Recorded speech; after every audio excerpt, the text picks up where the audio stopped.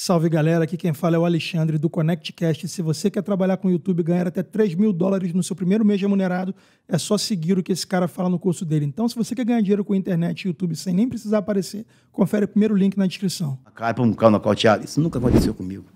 45 lutas, nunca ninguém me derrubou e, pum, pô, apaguei o joio. Em pé, Entendi. nunca ninguém fez isso. Você Eu chegava a tenho- ver as lutas do Habib, Joel? Agora, Do ah, outra luta, você falou das lutas, né? Não luta mais, mas eu gostava muito. Do Habib? Muito, Brabo muito demais, né, cara? Muito brabo. Cara completo. Ele completo. metia uns Kotigari no meio da luta. Uhum, Ele bom também de queda. Bom É o cara demais. assim, é, você vai lutar com ele, puta merda, vou levar o cara pro chão, não dá, vou trocar em pé, não dá.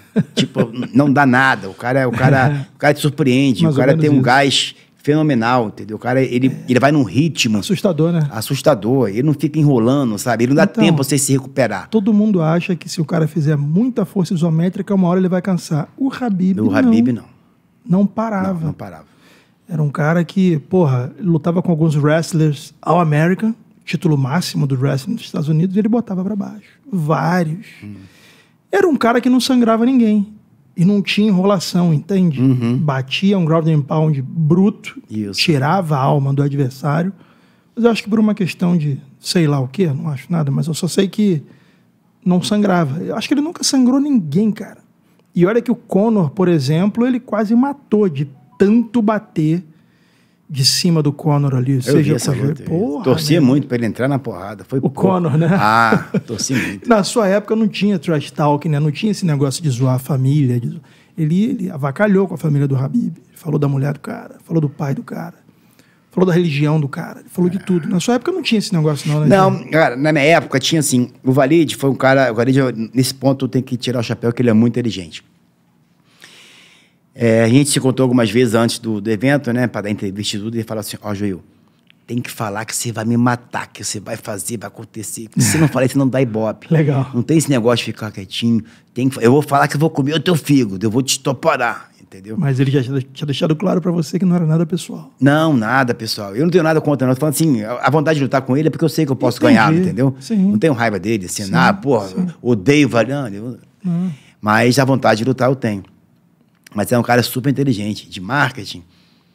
Pô, a nossa luta passou, apareceu no Jornal Globo, na Sim. capa. E passou entendeu? na Band graças na a ele, época. É, graças a ele, tudo a ele. Sim. Entendeu? Ele sabia mexer com a mídia, sabe? Ele, ele sabe, ele sabe é, é, chamar o, o, holaf- o- Os holofotes. assim, para aquela luta, entendeu? Fato. Ainda mais a jiu-jitsu, a luta livre. É.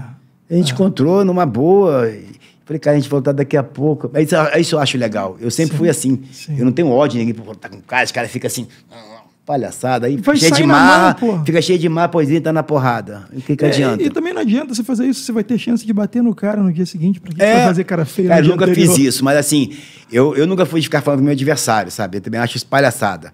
Eu, eu vou lutar com o cara amanhã, já tem gente no hotel. Opa, tudo bem? E aí? Como é que tá o almoço? não, cara. Eu cumprimento, entendeu? Eu não vou sentar, não vou ficar trocando ideia. Eu sempre cumprimentei, sempre fui educado. Mas nunca foi de ficar, pô, cara, e aí? Como é que tá aí? Puxando Como- assunto, é, não, né? Nada, a gente vai sair na porrada, cara. Depois É. a gente pode conversar. Senão, isso aí, isso aí meu pai sempre me ensinou. Se você ficar conversando com seu atleta, vai, vai parecer que você tá com medo. É. Entendeu? Então é expressão fechada, sabe? Eu ganhei muitas lutas, cara. Muitas lutas eu ganhei só na expressão, só na pesagem. Eu, eu já sabia que ia ganhar a Que luta, bravo, cara. Mentalmente. mentalmente. Eu entrava na, na cabeça do cara. Eu, eu, quando na hora da pesava, eu olhava fundo no olho dele, assim, eu olhava de uma forma, nada daquelas palhaçadas de empurrar, entendeu? Mas só de o olho mesmo, olho no olho, você vê a atitude de um homem, né? Olhando Sim, no olho dele. Sim. Eu olhava e falava assim, porra, o cara vai frouxar, o cara tá frouxo. entendeu? Esse cara eu vou ganhar. E o cara era melhor do que eu, que eu falo assim, tava muito mais bem preparado e eu ganhava. Outras lutas que, que, eu, que eu ganhava, acabava o round, eu tava morto. Eu tinha perdido o primeiro round, estava morto. Eu não sentava, eu ficava em pé, olhando pro cara. O cara fala, como é que esse velho tá em pé ainda, cara? Se eu bati nele, ele tá em pé ainda. O cara era 15 anos mais novo do que eu. Eu morto, mas eu conseguia controlar a minha respiração e conseguir respirar, sabe? Eu não ficava assim. Já mostrou pro cara que você já tá derrotado. É.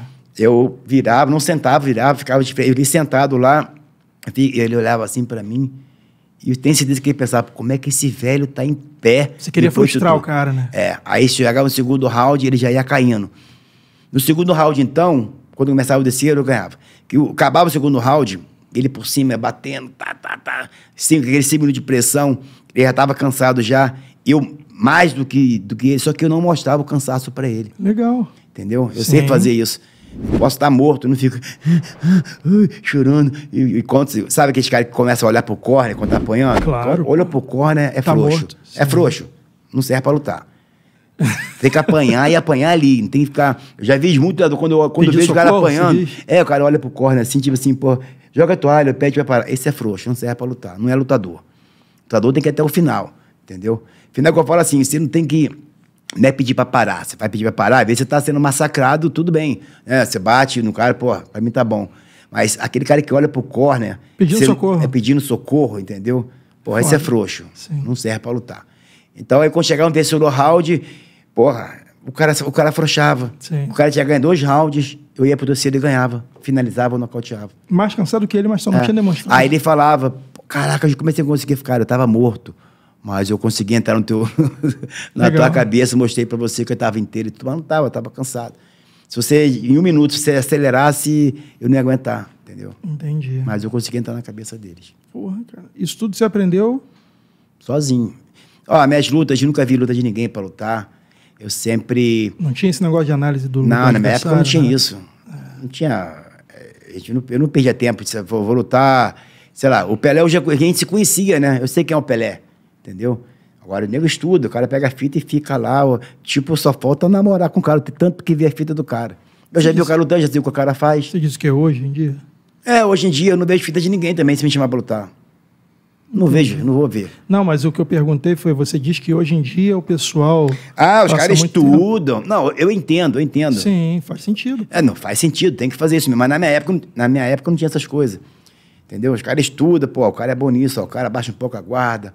Hoje Sim. tem toda uma estratégia. É. Né? Na minha época, não, a gente não via, eu não via luta. Só ia lutar com, com o Zezinho lá do Pará. Tá bom. A gente ia lutar. Eu, conheci- eu começava a fazer a minha tática lutando.